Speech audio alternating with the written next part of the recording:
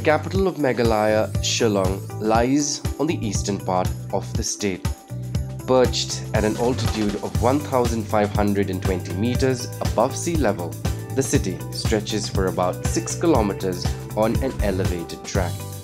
It is situated on a plateau bound on the north by the Umiam Gorge, on the northwest by the Great Mass of the Diengiei Hills.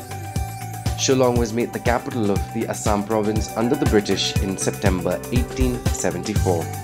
It remained the administrative capital of the state of Assam even after India's independence up until 1972 when Meghalaya achieved statehood. The British put in a lot of their resources in developing the hill station of Shillong into an administrative and leisure retreat. They built beautiful houses, clubs, churches, administrative buildings, estates, parks, gardens, and sanatoriums in the same pattern of architecture as in England.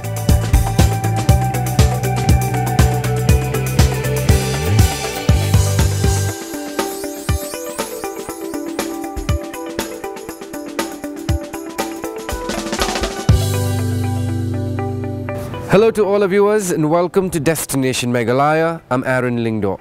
On this edition, we continue to relive Shillong Town's journey with a stroll through some of its iconic landmarks. We will maneuver the city's rich colonial heritage and history. And my time starts now.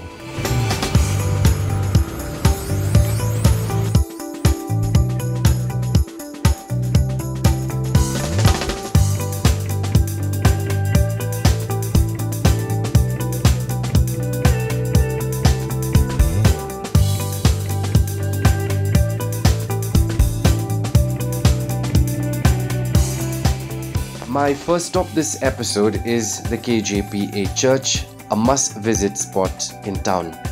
The original location of the Presbyterian Church was within the area where the Meghalaya Legislative Assembly was. This particular plot of land curiously had quite a few names. It was called Ilom Linkhut in the local language, which in English translates to Naked Hill, and it was also called Ingpot in some other historical documents.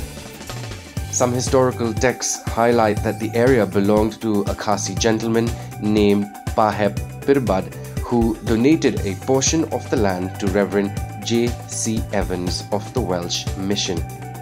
Other historical records show that the land was acquired by the Shillong municipality in 1902 from Brojendro Kishore Roy Chaudhary, a zamindar of Rangpur in Bengal and given to the Welsh mission. What can be confirmed, however, was that a church was constructed at the site of the Legislative Assembly sometime in 1903 for services in English for Christians who were not Khasi. A quick visit to the KJPA church is what you should consider when you're in town. Some peace and quiet was never bad.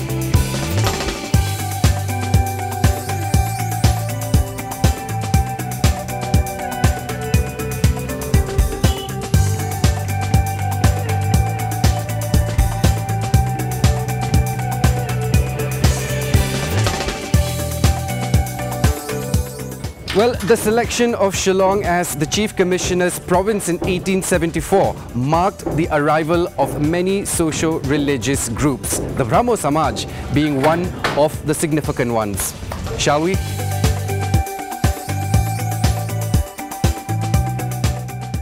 Next on our itinerary is the Shillong Brahmo Samaj, a representation of how multicultural Shillong joined hands to change the education of the rural people and increase the furtherance of the Brahmo cause. Founded by Raja Ram Mohan Roy in 1828, it was one of the most influential religious movements in India and played an important part in the regeneration of modern India. It was a monotheistic religion that propagated the belief in the fatherhood of God and the brotherhood of mankind. It began during the Bengali Renaissance in the 19th century. The ideals of the Samaj were brought to the Northeast by Assamese elites who studied in Calcutta in the mid 19th century. Meghalaya and Assam were amongst the northeastern states that were hugely influenced by the ideals of the Samaj. The Shillong Brahmo Samaj has been in existence for 130 years and is one of the oldest in northeast India established on 8 November 1874, soon after the formation of the Chief Commissionership of Assam in Shillong. Initially, the Brahmos numbered around 25, most of them well placed government servants who hailed from Sylhet and neighboring districts in Bengal. The Brahmo Samaj movement in Shillong was mostly confined to the upper class Bengali officials and a few Assamese and Khasis. The Brahmo community of the Khasi Hills though a microscopic minority, played a catalytic role in the socio-cultural and religious regeneration of the Khasi society. Their pivotal role might be forgotten as of today, but historically, their contributions cannot be ignored. Well, away from the shuffling cabs and the busy pedestrians, we now head to Polo Grounds to my next destination, the Buddhist monastery.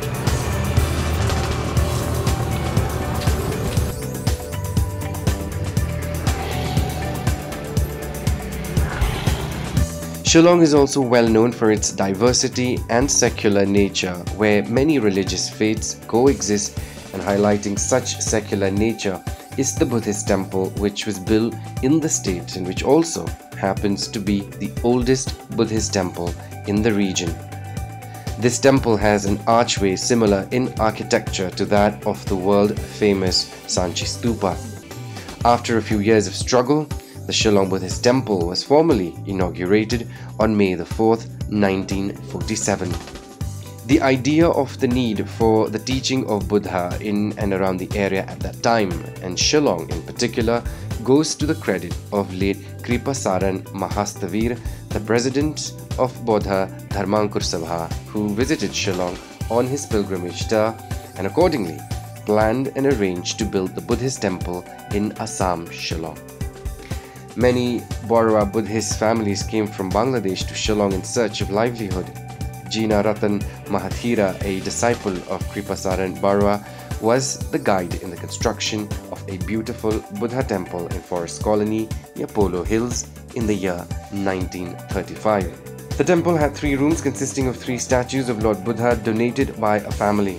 Two more statues brought from Thailand and Myanmar were also installed. Presently, a two storied building adjacent to the temple is being used for the residence of monks and guests. Buddhism had set its roots in Shillong, the then capital of Assam, and now the capital of Meghalaya in the year 1918, and though it spread very slowly, at present it has three places of worship in and around the city. This is one of the most precious discoveries that remains concealed from the eyes of tourists and locals alike. Now, this is the perfect place for you to be if you want to escape the stressful city life and experience the aura of tranquility. Speaking of escape, my next destination is something that you would like to consider.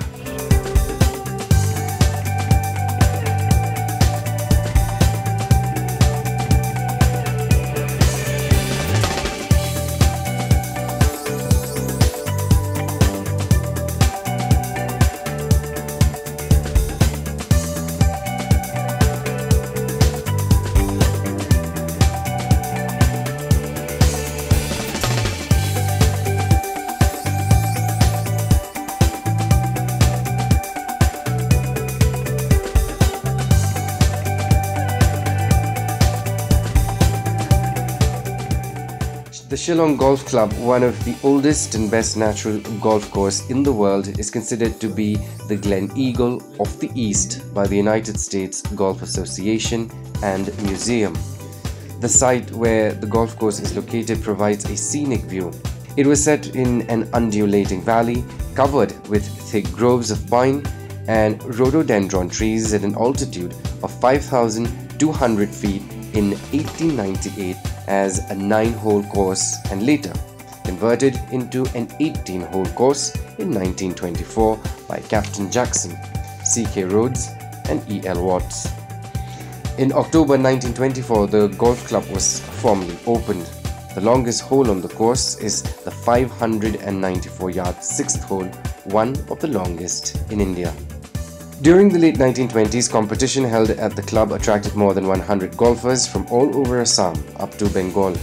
This course finally was put up on the golf map of India in the year 1975, following which the first India Carbon Open Golf Championship was organized.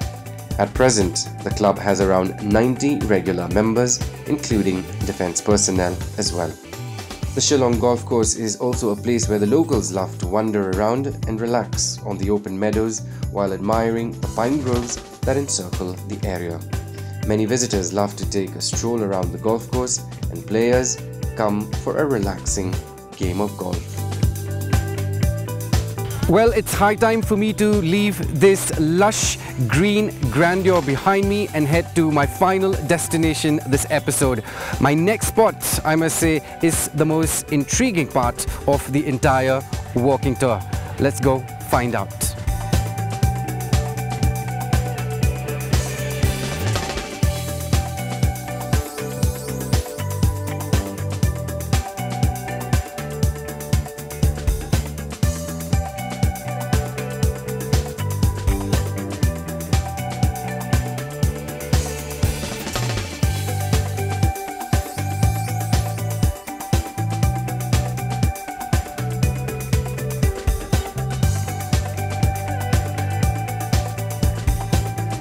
Well, Shillong Tir is a unique archery-based lottery game which is conducted by the Khasi Hills Archery Sports Association. Well, it is played here in Meghalaya where the winners are announced based on the number of arrows shot.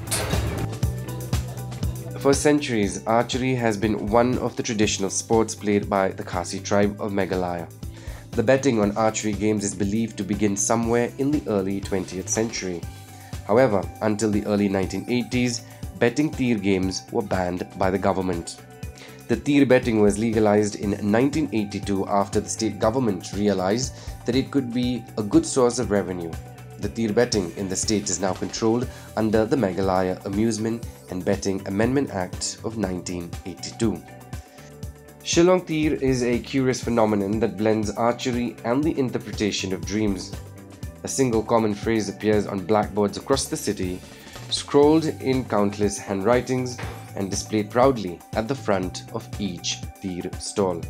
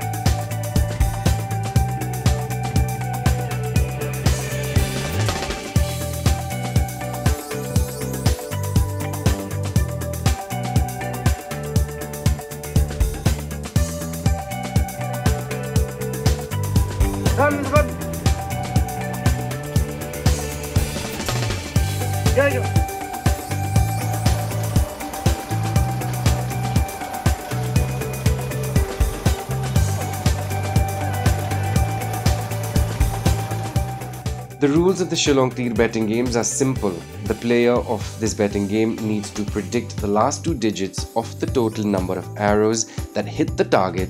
Then, the winning number for the lottery is the last two digits.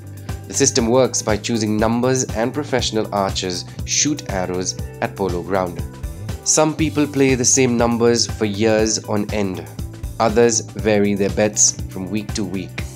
Most people play between 10 and 100 rupees, but there are stories of massive bets like 5 lakhs on a single number.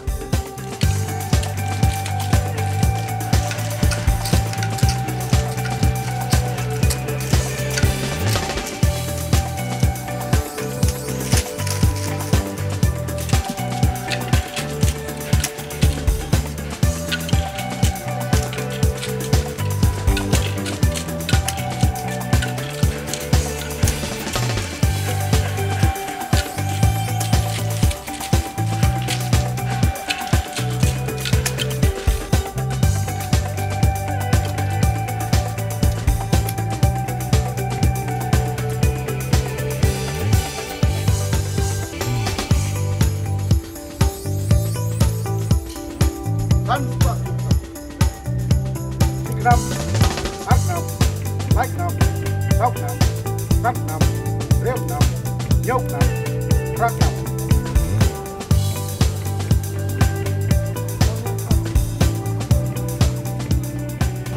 កណេកាជីងសិតឆ្នាំជងីក្លាសដងកំឡៃធូរគីឡងស្វាជងីគីណងឡំបារិមកានកដេណាដូចស្នំខាខ្នៃស្ប៉សំក្លេសំពូអាសំពូឡៃក្លាសដងនេះជាលក្ខណៈ Mentah lah nyuruh fokus nampak tinggi nengah jelek kagak tu.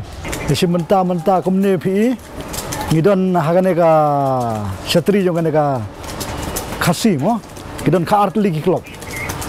Kartli klub. Jadi kasih kalau nengah satri jom ini kartli klub. Kau mahu penyak ini kartli klub. Karul saya kau dapat kalau kumne mene hagan kau dapat na siap. Nah pada ini kartli klub kerja siap.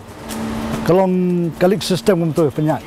Arah kartli klub sistem ni but art league ni ke asyon budi kita ni, kawai ke matawa, kawai ke kabuah. Kita art league kita is nasihat jumpi buki, kita is steward bangyo.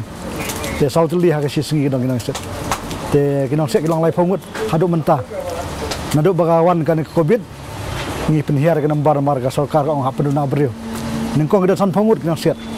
haduk bagawan te covid arfo arfo mo, haduk kini kini senam adak, kita san pungut kita nasihat.